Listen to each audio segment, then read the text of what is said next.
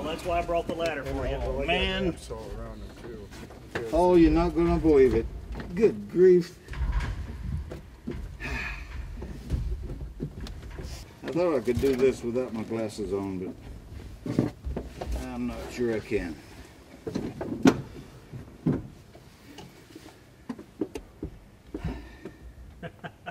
Grab the yoke there, Paul. Pull back. Ah, How's that feel? Beautiful. Wonderful. Did you use the pipper though, Paul, or did you kind of use the nose of the airplane when you're dropping bombs? Um, Some people, uh, some pretty much right out the window. Yeah, that's what a lot of pilots did. Yeah, because you know at dark at night, what the hell? The, about here maybe. How did we meet?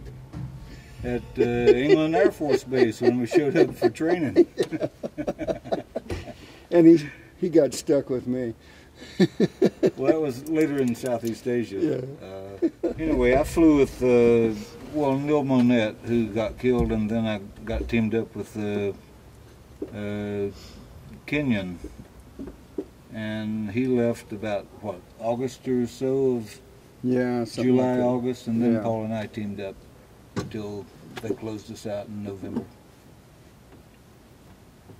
Had some good times. So you flew August, September, October, and November together. How many missions did you, did you get in that time frame? Do you remember? I don't know. I had 147 overall. Yeah. What you had? I had 155? 155, So and I um, probably a third of those were together, maybe. yeah. Crazy. Is there any particular mission that sticks out in your mind that the two of you flew together? Yeah, one We were time fortunate. I was, uh, we were doing, uh, going around because there wasn't anything moving there. I was up in the barrel roll, was it? Yeah. Yeah. And uh, so going down and come back and around. Well, I was a bit on the stupid side because I just kept doing the same thing. Well, behind me was a gunner back there, and he sat there and he put it in there, and as I come off, whoosh, all the bullets are coming right over below the tip tank, and that about far enough high not to hit us. And it just, I think there, good God, there must be 30 to 40 of these things coming right up your back end.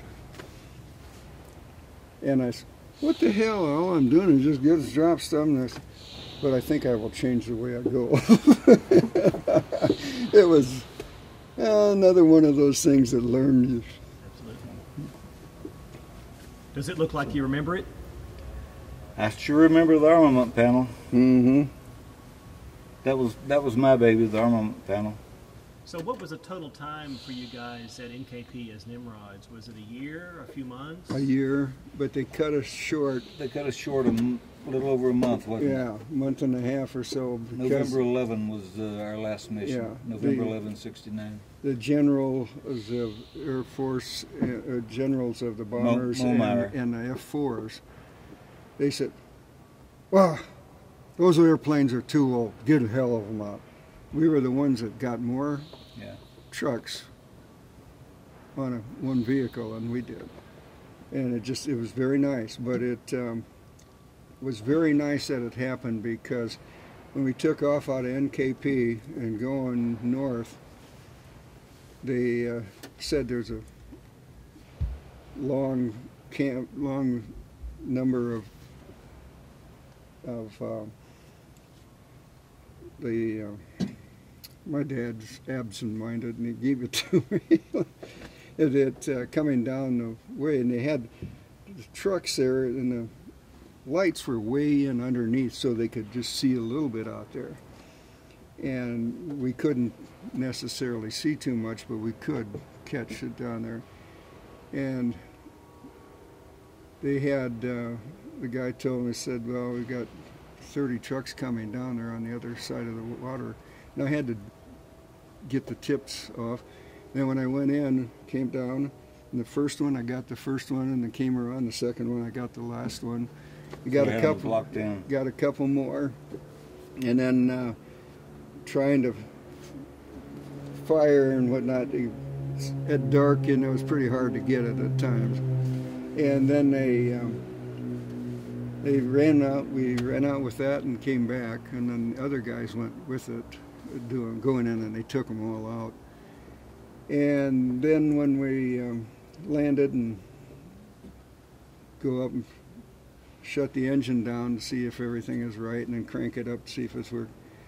Taxied on down there, and there was a fire truck there. We got down and got hosed with water. they just they were hosing all of us. Is their last night. Oh, I see. Last night. and that was it. But you know, it was neat. And then we went back to the hooch, and I don't know if we went to bed before noon or two. After we were, we were just having a whole lot of stuff. And the uh, other thing was they had some lieutenant colonels that had cars that drove around a little bit.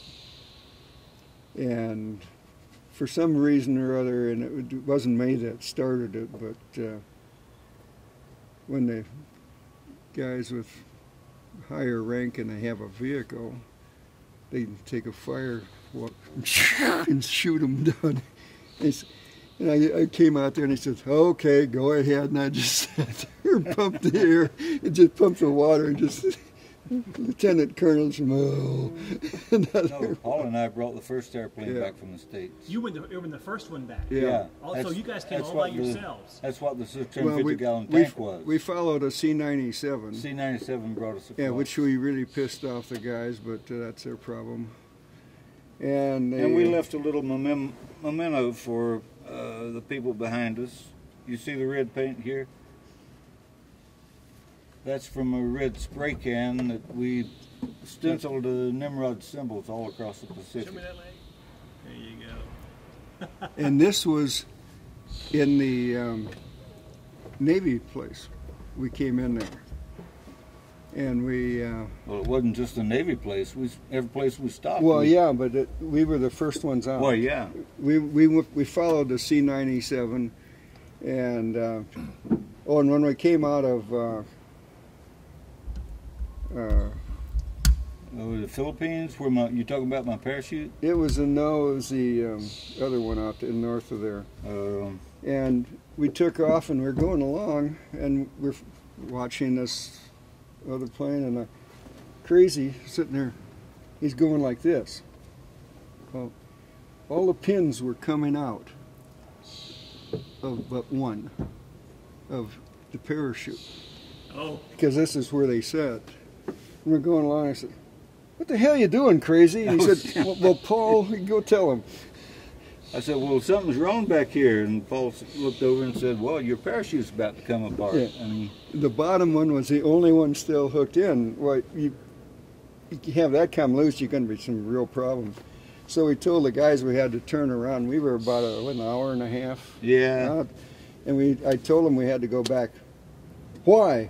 Well, crazy parachutes come apart. Well, I'm not going around. So I don't care. I am. Well, he had to come with us. and oh, he was he was so pissed. So but that was nice. another night on where was it, Wake Island or somewhere? I don't so know. We went back there and they uh, had to take the chute out and clean it all out, and it took an another day. Then we went on. So we took off out of there, and then we were going to um, the Navy place. And he said, "Well, you know, you guys got to go all the way from." Um, from uh, Hawaii to the you can just you don't have to go to the Navy place. And I said, yes, but I'm not going that way because it is a heck of a pain in the neck not to be able to get some of that stuff and you know because this this guy was I don't know he I think he was in a rush to get home and get laid or something but it, uh, yeah, I mean, it, it, he was just so pissed. And so we uh, turned back and he just, but we took these cardboard, thin cardboards and put A26.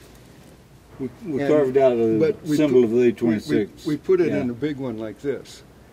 And we uh, went and had, had a drink or two or however many, and we go out and we taking red paint and putting it all over the base. Oh, And the the final thing was when we landed at where was it? Was it Travis or McClellan somewhere? We got first thing we did when we got out of the airplane was we ran over to the the lead ship and stenciled their A26 on the side of their airplane. That didn't make them too happy either. and we uh, we used a lot of red paint, Red paint. and things were about this big. And the guys behind us got caught hell because of all the Yeah. Well, red paint Tim- we had left behind. Tim Black indicates that the group he was with did the same thing, and they were escorted off of uh, Maui. I'm out off of Honolulu for that. Yeah. Oh, they uh, they didn't like they didn't like that at all. But that Navy guy, he just went berserk.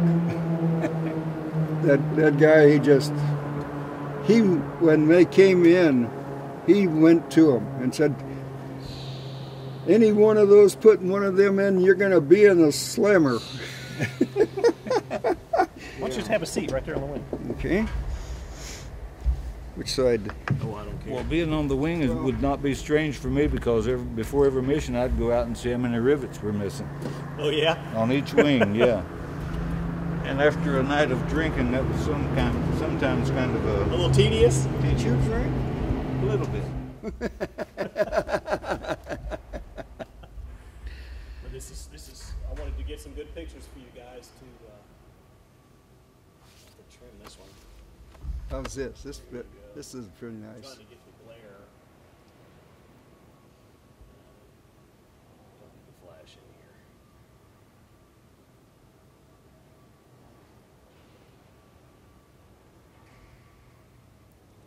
Do you think you could sit on the cowling? Sure.